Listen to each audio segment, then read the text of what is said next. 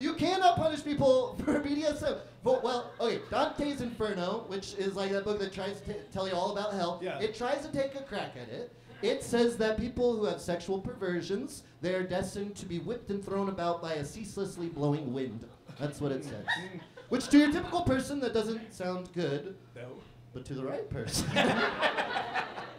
being whipped, thrown, and ceaselessly blown, yeah, sounds like a pretty good time. Hell's a little slice of heaven. Why not? The, the point is, some people can't be punished; they can just be painfully rewarded. That's the problem. Right. So there's going to be some people who are up at Judgment Day and hearing like, "Oh, Jesus is handing out punishments." Nipple clamps. Nipple clamps, please. Yeah. Just so you know, Jesus' safe word is Gethsemane. So that's how. That's it. That's you can use it. You can use it too. If you say Gethsemane when things get a little too crazy, uh, whoever you're with will fucking stop right away. Okay. You Feels like you're entering me from every port.